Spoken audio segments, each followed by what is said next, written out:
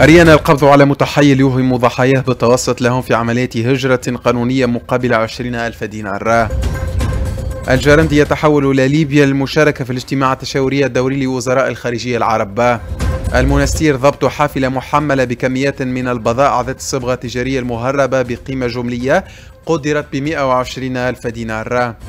عند راها مواصلة تعليق الدروس إلى حين إشعار آخر. وفي الذكرى الستين لمعاهدة الصلح بينهما ألمانيا وفرنسا تتعهدان بدعم أوكرانيا. إلى تفاصيل النشرة حيث أنه وإثر تقدم أحد المواطنين إلى مقر فرقة الشرطة العدلية بريانا المدينة راغبا في الإعلام عن تعرضه لعملية تحيل من قبل أحد الأشخاص. إثر إيهامه بالتوسط له في عملية هجرة قانونية نحو أحد الدول الأجنبية وتمكينه من تأشيرة سفر نحو البلد المنشود مقابل مبلغ مالي قدره 20 ألف دينار. تم إثر ذلك التنسيق مع النيابة العمومية ومداهمة مكتب ذي شبهة حين وقع القبض على المعني وحجز مجموعة من الوثائق وما مطالب هجرة ومبالغ مالية قدرت ب 19 دينار 19 ألف دينار حسب ما ورد في الصفحة الرسمية للإدارة العامة للأمن الوطني وبالتحري مع المظنون فيه بعد مجابهته بالأدلة اعترف بما نسب إليها ليتبين تسلمه لمبالغ مالية هامة في عملية تحيل مماثلة. وباستشارة ممثل النيابة العمومية أذن بالاحتفاظ به من أجل التوسط على غير الصيغ القانونية في عملية هجرة والتحايل والأبحاث لا تزال متواصلة. وعلى إثر عمل استعلاماتي من قبل خلية استعلامات فصيل الحراسة الديواني بالمنستير تم ليلة البارحة ضبط حافلة في إطار رحلة منظمة قادمة من بنجردان بالطريق السيارة صفاق السوسة على مستوى مدخل ولاية المهدية محملة بكمية كبيرة من الفواكه الجافة ومواد التجميل والملابس الجاهزة والسجائر وذلك وفق ما فاد به مصدر أمني لمراسل حياة فام بالمنستير وأوضح المصدر ذاته أنه تم اقتياد الحافلة إلى مقر الفرقة بمدينة المنستير وتعداد البضائع الصبغة التجارية وحجزها حيث بلغت القيمة الجملية للمحجوزة 120 ألف دينار. وبتكليف من رئيس الجمهورية قيس سعيد تحول وزير الشؤون الخارجية والهجرة والتونسيين بالخارج عثمان الجرندي إلى العاصمة الليبية طرابلس وذلك للمشاركة في الاجتماع التشاوري الدوري لوزراء الخارجية العرب الذي ينعقد اليوم الأحد وذلك بدعوة من وزيرة الخارجية والتعاون الدولي الليبية نجلة المنقوشة رئيسة الدورة المئة وأربعة والخمسين لمجلس الجامعة على مستوى البزارية وسيتناول الاجتماع بالبحث عددا من القضايا الإقليمية والدولية والسبل الكفيلة بمواجهة تداعيات على الدول العربية وفق بلاغ صادر اليوم عن وزارة الخارجية التونسية. وكان عثمان الجرندي قد وجد أو لدى وصوله إلى طرابلس لقاء مع نظيرته الليبية. استعرض خلاله العلاقات الثنائية الجامعة بين تونس وليبيا ومجالات التعاون الثنائي وأكد على ضرورة متابعة تنفيذ ما تم التوصل إليه من اتفاقات خلال الزيارات واللقاءات السابقة. وجهويا قررت اللجنة الجهوية لتفادي الكوارث ومجابهتها وتنظيم النجدة بقاعة التصرف الأزمات بفرقة الحماية المدنية بعين دراهم. اليوم الأحد الثاني والعشرين من جانفي الجاري. مواصلة تعليق الدروس بكامل معتمدية عين دراهم إلى حين إشعار آخر.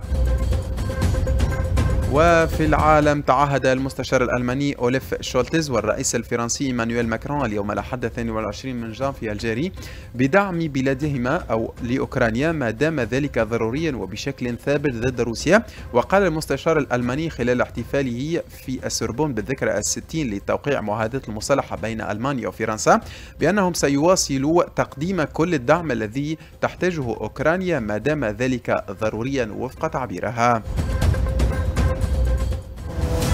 الدورة الثانية للانتخابات التشريعية 29 جانفي 2023 أكد المترشح عن دائرة العلاء حاجب العيون وليد الحاجي بأن برنامجه الانتخابي نابع من الدستور وأنه سيعمل على تشغيل الشباب وأضاف بأنه مطالب بإحياء المنطقة الصناعية بحاجب العيون وأحداث منطقة صناعية بالعلاء وتمكين الشباب من مشاريع صغرى ومنح ومنحهم مساعدات على العمل له وتمكين الأهالي من دفاتر علاج مجانية وإحداث منشآت ثقافية ورياضية في المناطق الريفية التي تفتقر إلى مثل هذه المنشآت. أكثر في التسجيل التالي. أه وليد الحاجي أستاذ مدارس ابتدائية عمري 42 سنة.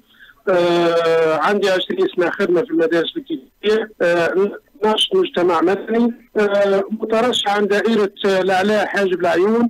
بالنسبة للبرنامج الانتخابي برنامج نابع من الدستور مما ورد في الدستور فيما يخص التشغيل خاصة تشغيل الشباب. آه نطالب بإحياء المنطقة الصناعية بحاجب العين اللي هي منذ 2002 متركزة. نطالب بإحياء منطقة صناعية بمعتمدية الإعلام. نطالبوا بخلق مواطن شغل للشباب بإعطائهم منح تمكنهم من التحرك والبحث عن شغل وتمكينهم من مشاريع أخرى يعني صغرى تمكنهم من الاندماج في الحياة الاقتصادية والاجتماعية. بالنسبة للشباب نعرفوا اللي معظمهم ماهوش منخرطين في المنظومة. يعني اللي خاصة بالكلام ولا الصناديق الاجتماعية ذلك نطالبوا لهم يعني تمكينهم من دفاتر علاج مجانية. هذا على المستوى الاقتصادي يعني أهم النقاط.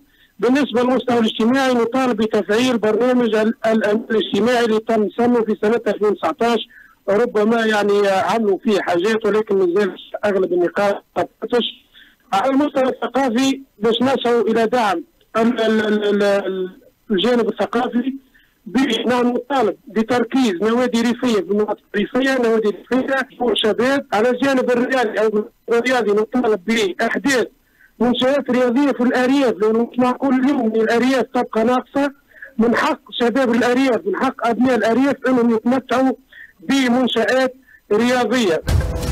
الدورة الثانية للانتخابات التشريعية 29 جانفي 2023 نهاية النشرة الإخبارية وهذا التذكير بأبرز ما جاء فيها. أريانا القبض على متحيل يوهم ضحاياه بالتوسط لهم في عمليات هجرة قانونية مقابل عشرين ألف دينار. عثمان الجرندي يتحول إلى ليبيا للمشاركة في الاجتماع التشاوري الدوري لوزراء الخارجية العرب. المنستير ضبط حافلة محملة بكميات من البضائع ذات الصبغة التجارية المهربة. عند راها مواصلة تعليق دروس إلى حين إشعار آخر. وفي الذكرى الستين للمعاهدة الصلح بينهما ألمانيا وفرنسا تتعاهدان بدعم أوكرانيا. نهاية النشرة الإخبارية قدمها لكم نصر الدين حميدة إلى اللقاء.